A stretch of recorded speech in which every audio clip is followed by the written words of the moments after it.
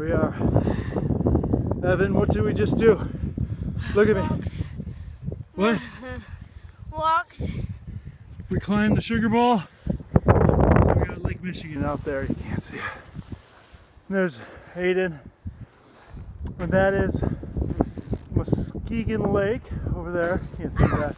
Liam. Liam, say hello. Alright, so Evan's puking up along here. Snug Harbor behind us. And bright light in front of me. Just having a good night.